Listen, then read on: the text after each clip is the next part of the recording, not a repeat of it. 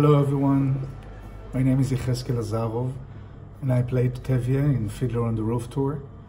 First of all, I would like to thank you for asking me to participate in this beautiful project. Of course, I have so many amazing memories from Hollywood Pantages venue and especially from room number one.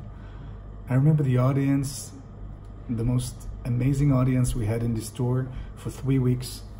I remember Jess, my dresser, and of course all my LA friends that came and enjoyed the show like crazy.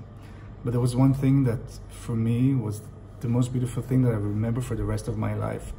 And it was the closure I had with my parents. Uh, my parents, of course, they are following me since I'm eight years old on stage as a tap dancer.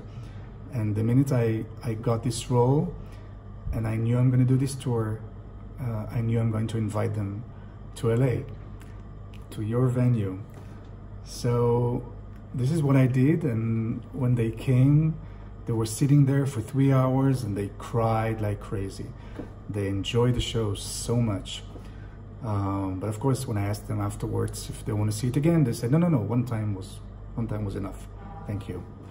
So anyway, I just would like to thank you for being part of this closure. So I hope everyone feels good in this crazy period we're going through. And I'm sending you all my love. Bye.